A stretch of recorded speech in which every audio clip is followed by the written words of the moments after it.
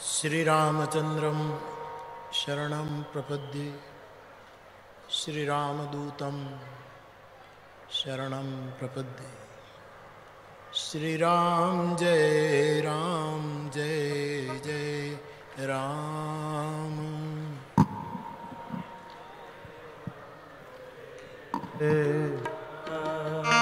श्री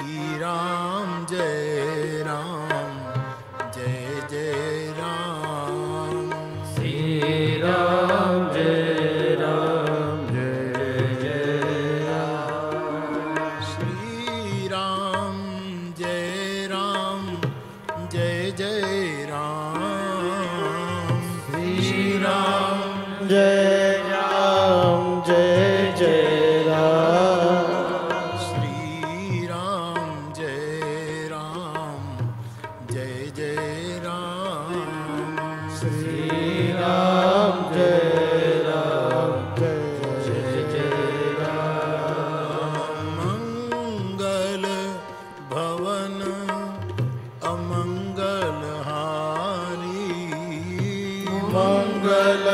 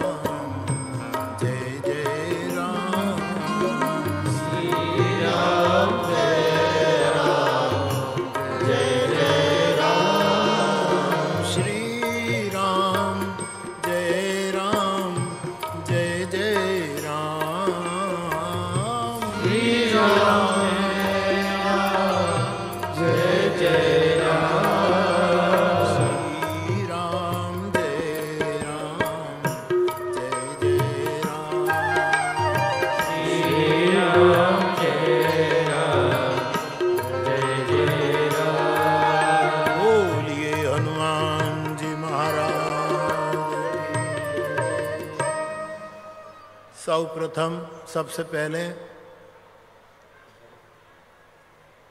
हमारे पर बहुत स्नेहादर रखने वाले, आशीर्वाद देने वाले पूज्यपाद रघुमुनि जी महाराज, आपके चरणों में मेरा प्रणाम। पूज्य महाराज, श्री कई बार मुलाकात होती रही और आज ये अवसर आया कि मैं यहाँ आ पाया। आपके चरणों में मेरा प्रणाम।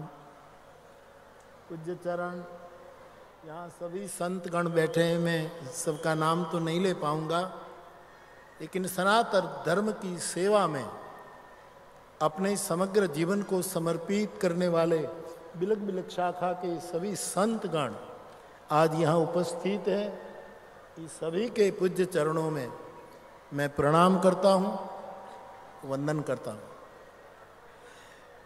आप सभी मेरे भाई बहन जो इतनी बड़ी तादाद में यहाँ आए हैं, आप सभी को भी मेरा प्रणाम। और इस सनातन धर्म की सेवा में लगे कि हमारे ये युवक जो महाराष्ट्र में परिचय करवा रहे थे, और अन्य पूरी टीम सभी को और विद्युत क्षेत्र के जितने अग्रणी यहाँ विराजमान हैं, सभी को भी मेरा प्रणाम। सनातन धर्म, उसको सनातनम क्यों कहते हैं? कई लोग हैं, इतिहास की तवारीख में उसको बांधने की कोशिश करते हैं कि इस धर्म की धारा को इतनी शताब्दी हुई है, ये हुआ है, ये हुआ है। लेकिन ये सत्य नहीं है, क्योंकि हमारा जो धर्म है, हमारी वैदिक परंपरा जो है, हमारी संस्कृति जो है, ये पुरातन नहीं है।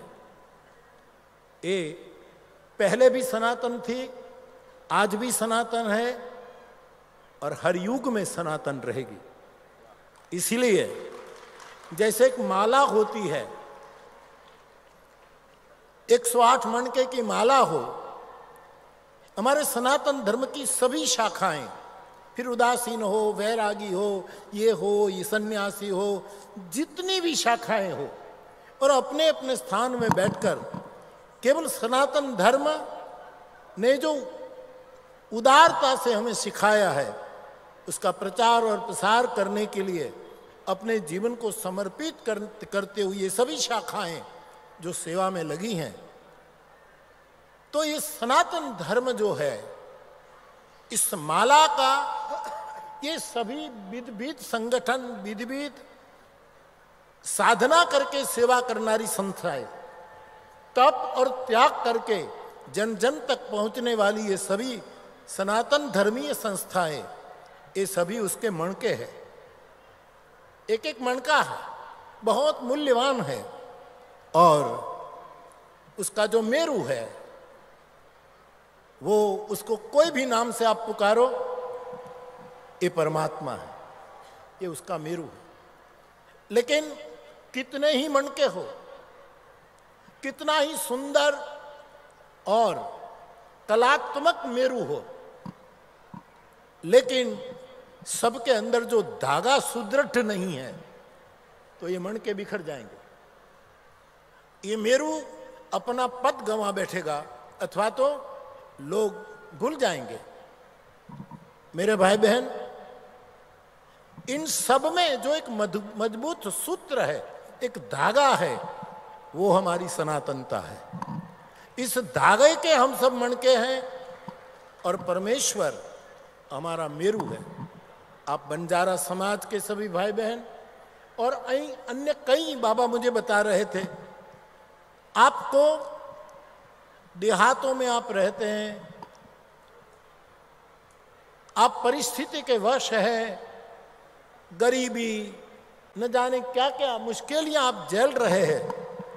इसके कारण आपके सामने बहुत से प्रलोभन भी आते होंगे।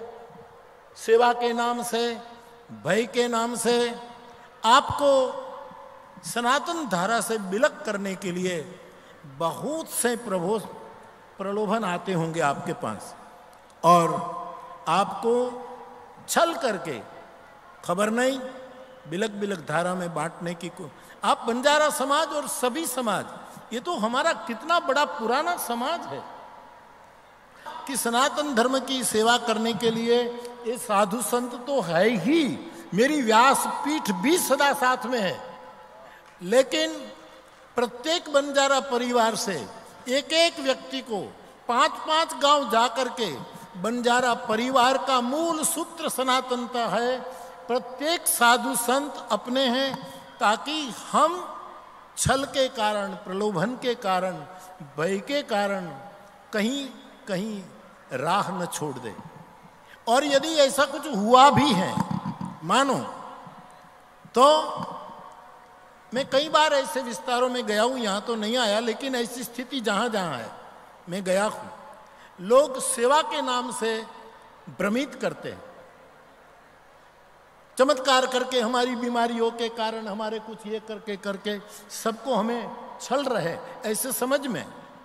कई ऐसे तथाकथित धर्मावलंबी है जो ऐसी प्रवृत्ति करते हैं और हमें अपनी सनातन मार्ग से बिलक करने की आ, बहुत नेटवर्क बना करके कोशिश करते हैं। आपकी किसी ने सेवा की हो किसी कारण आपको किसी ने कुछ प्रलोभन दिया हो मैं हमेशा कहता हूँ कि जब कोई बीमार होता है और अस्पताल में भर्ती कर दिया जाए तो वो कब तक अस्पताल में रहे और कब तक उसको रखना चाहिए जब तक ठीक न हो जाए। ठीक होने के बाद पुनः उसको घर भेज देना चाहिए। और उसमें अस्पताल के जो डॉक्टर है, उसको भी प्रसन्नता होनी चाहिए कि हमने ठीक कर दिया और अपने घर भेज दिया। आपको छल करके किसी ने ऐसी सेवा के नाम पर सनातन धर्म से दूसरी दिशा में मोड़ दिया हो, और तो आप स्वस्थ होकर फिर लौट जाइए। और दूसरे धर्म के ऐसे लोगों को भी खुश होना चाहिए कि तो तंदुरुस्त हो गई और अपने घर जा रहे। हैं इसलिए मैं इस साधु संतों के साथ खड़ा होकर आपको बुलाने आया हूँ कि आप अपने घर लौट आए और कभी भी कहीं इधर उधर न होवे, क्योंकि हमारी मूल धारा सनातन और बंजारा शब्द बहुत प्यारा है। भगवान राम को चौदह साल का वनवास हुआ। उसमें पहला शब्द आया, चौदह बरस राम बन। वनवासी राम हुए। घूमते रहे। सतत। एक समय था कि बंजारे लोग हमारे सनातन धर्म का गुणगान गाते गाते, गाँव गाँव जाते, एक तारा बजाते, अपनी कला, अपनी विशिष्टता लेकर के अपने धर्म का प्रचार करते थे। गाँव गाँव से दो तीन युवक ऐसे निकले कि अपने पंथक में जा जा करके अपने लोगों को ये समझाएँ। साधु संत के आशीर्वाद तो आपके साथ है ही।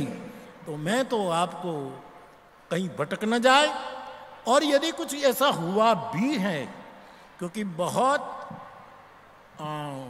व्यवस्थित कुछ चल रहा है देश में, कि कैसे ही ऐसे ऐसे लोगों को भटका करके एक दूसरी दिशा में ले लिया जाए। ऐसे समय में आप स्वस्थ रहिए। मैं यहाँ बोलने के लिए खड़ा हुआ, हमारे बाबा श्री बाबा श्री सब कहने लगे, बापू, बैठकर बोलिए। तो मैं कहता हूँ, मन में सोच रहा था कि हम बैठे बैठे बोले ना, इसलिए तो समाज भटक गया। अब हमें खड़ा होने की ज़रूरत है। हमें अपने मठों से, अपने स्थानों से, अपने वहीं से, और कठोपनिषद का एक बहुत बड़ा सूत्र है, उत्तिष्ठत। हम उठें और आपको भी खड़े करें। संस्कृति के लिए, सभ्यता के लिए, सनातन धर्म के लिए। और जब तक अपना लक्ष्य प्राप्त न हो, तब तक हम ये सभी संत भले अपने स्थान में बैठे, लेकिन खड़े हैं। बाबा ने मुझे कितना प्रेम से कहा कि बापू, आपको आना ही पड़ेगा। और बाबा तो मुझे मिलते ही रहे, और मैं बहुत प्रसन्नता के साथ आया हूँ। इसलिए आपका दर्शन करने के लिए कि आप अपने आप को कोई और न समझे आपके पास जो कला है जो सभ्यता है जो सनातन मूल्य हैं उसको पकड़े रखें और राम कृष्ण शिव जगत गुरु चंद महाराज पूरी उदासीन परंपरा अथवा तो जितनी परंपरा है ये सब का आप अनुसरण करें और हमारे सनातन धर्म को आ, बहुत हम उसके पीछे पीछे चल करके सनातन धर्म की सेवा करें। सनातन धर्म कभी नष्ट तो होने वाला नहीं, धर्म कभी नष्ट नहीं होता। गीताकार ने भी कहा कि धर्म शाश्वत होता है, इसलिए सनातन धर्म कभी नष्ट होने वाला नहीं। हाँ, एक बात है कि कभी कभी हम अपना घर छोड़ करके कहीं बाहर जाते हैं तो घर में जो फर्नीचर होता है, उस पर धूल चढ़ जाती है रज चढ़ जाती है। जब हम लौटते हैं, तब इस पर धूल चढ़ गई है तो अलमारी फेंक नहीं देते, धूल को उड़ा देते हैं। इसलिए हम सबको ये काम करना, क्योंकि धर्मता का तो कभी नाश होने वाला ही नहीं। कोई लाख कोशिश करे। इसलिए मैं आपसे प्रार्थना करता हूँ कि हमारी सनातनता को, हमारी राम रामायण को हमारे गीता को, हमारे वेदों को, हमारे उपनिषदों को, हमारे गुरु ग्रंथ साहब को, हमारी सभी गुरु परंपराओं को, इन सबको सेवा करते हुए हम अपनी सनातन धर्म की बहुत हृदय से सेवा करें। मैं तो आज आध घंटे के लिए आया हूँ, लेकिन मैं और क्या दे सकता हूँ? मैं आपको क्या दे सकता हूँ? मैं इतना कह सकता हूँ कि आप सनातन धर्म की नींव को मज़बूत करने के लिए, आप में पूर्णतः एकता लाने के लिए और नेकता लाने के लिए आप यदि सम्मत हो तो 2024 में मैं एक कथा दे दूँगा यहाँ। 2024 में नौ दिन की एक राम कथा आपके बीच में आकर गाऊँगा और व्यासपीठ 24 में यहाँ कौन सी ऋतु अनुकूल हो मुझे क्या अनुकूल है? आपको क्या अनुकूल है? हाँ। तो आपको तो रहना ही पड़ेगा। मैं अकेला क्या करूँगा? वैसे तो आपको तो तो मैं आपके बीच आऊँगा। 2024 में जब बाबा कहेंगे मेरे मेरे कैलेंडर के अनुकूल यहाँ की जो मौसम के अनुकूल नौ दिन तक आपके सामने राम कथा गा करके आप राममय बने। हमें भी आपका आपसे उत्साहवर्धन हो। हम भी सनातन धर्म की ज़्यादा सेवा कर सके। तेईस का मैं तो नहीं कर पाता, लेकिन चौबीस में महाराज श्री मुझे मिलते रहते हैं, बाबा का आशीर्वाद मिलता रहता है। तो हम सबको जो अनुकूल होगा, ऐसे समय में, नौ दिन के लिए मैं मैं यही देकर जा सकता हूँ और वो कुछ नहीं कर सकता। तो मेरे भाई बहन आपके बीच आऊँगा, आपके बीच रहूँगा, आपके घर की रोटी भिक्षा में प्राप्त करूँगा और यहाँ रहकर नौ दिन राम कथा गाऊँगा। ऐसा हो कि सुबह में राम कथा हो और शाम को इसी मंच पर सभी शाखा के धर्मगुरु पधारे, सभी संत पधारे और हम सबको वो भी मार्गदर्शन दे, शाम को और सुबह कथा हो। तो मैं ज़रूर नब्बे प्रतिशत वादा करके जा रहा हूँ कि यहाँ हम कथा करेंगे। इससे अतिरिक्त और कुछ न कहते हुए मुझे जल्दी उड़ना पड़ेगा क्योंकि वहाँ मैं उतर नहीं पाऊँगा। फिर भी आपके दर्शन से भारत की सनातनता और भारत की विराटता का मुझे दर्शन हो रहा है। इसकी मुझे बहुत प्रसन्नता है। मैं मैं एक गीत गाता रहता था। गीत तो नहीं गाना है। मैंने बचपन में फ़िल्म देखी थी तो उसमें एक गीत आता था कि आ लौट के आजा मेरे मीत। तुझे मेरे गीत बुलाते हैं। इसलिए कोई इधर उधर भटक गए हो तो लौट के आ जाओ। आपको मेरी चौपाइयाँ बुला रही है। आप राम कथा बुला रही है। आ लौट के आजा मेरे मीत, तुझे मेरे गीत बुला। और आप हमारी व्यासपीठ के साथ नहीं होंगे तो मेरा सुना पड़ा रे संगीत। ये परिपूर्ण नहीं होगा, क्योंकि राम राम बनकर विश्व को अद्भुत महिमा परमात्मा ने गवाया। कौल, किरात, भील, वनवासी, शबरी समाज, ये समाज सब राम के साथ जुड़ेंगे। हम और आप मिल करके, क्योंकि हम एक ही है, हम सबका स्वीकार का मंत्र लिए घूम रहे, लेकिन कोई हमें भ्रमित न कर दे, कोई हमें इधर उधर भटका न दे।